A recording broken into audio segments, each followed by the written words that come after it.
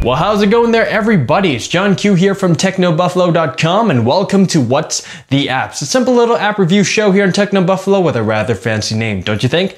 Today, we're going to venture into Android OS to take a look at an application called Smart Keyboard. Thanks to the totally awesome Jon Rettinger for sending me the Google Nexus 1 so that I can finally experience Android firsthand. Now I am a very big UI and functionality person and to be honest, I'm still having some trouble adjusting to Android OS, mainly because I've become so used to, you know, the other guy. Right off the bat, I noticed that the typing experience wasn't as fluid. Maybe it's because the Nexus 1 is pretty old compared to the newer guys, but the multi-touch screen didn't feel like it could keep up with my obscene tap tap tapping. And on top of that, I didn't really like how the default keyboard looked. From what I've heard, I knew Android was very, very customizable. You can change the icons, the keyboard layout, mm, whatever. So I started doing some research on keyboard alternatives. After reading a bunch of reviews and downloading various apps from the marketplace, I settled on an app called Smart Keyboard. And let me tell you, this thing is a masterpiece. Anything and everything you can think of to customize your keyboard,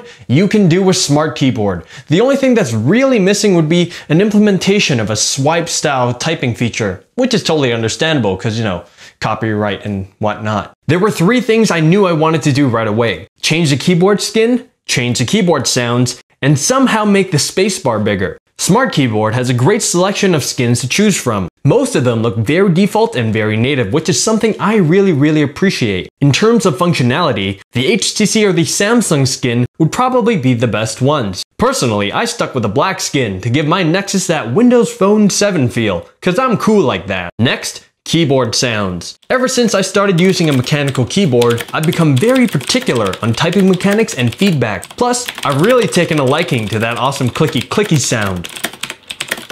Okay, the default Android keyboard sounds aren't bad, but I wanted something a little bit less tinny sounding.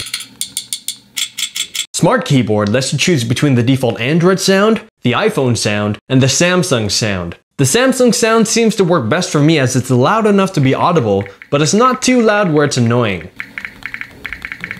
Lastly, the spacebar. I always seem to miss a spacebar when I type. I have no idea why. Android's default spacebar size is a little squished as uh, there's that voice input button, but with Smart Keyboard, I was able to remove it. Plus, I can move the comma and the period to the symbols area for maximum keyboard ponage.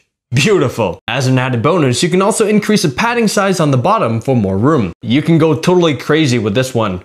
Oh yes. The things I mentioned only scratch the surface of what Smart Keyboard can do. You can also do T9 mode, compact mode, arrows, transparency, key height, user dictionary, smart dictionary, additional language support, gestures, calibration, add more skins, all of these fancy text prediction options, and much, much, much, much more. Best of all, it's totally free. The only downside is that the free version has a pop-up every now and then saying, oh, if you don't want to see this pop-up again, buy the full version.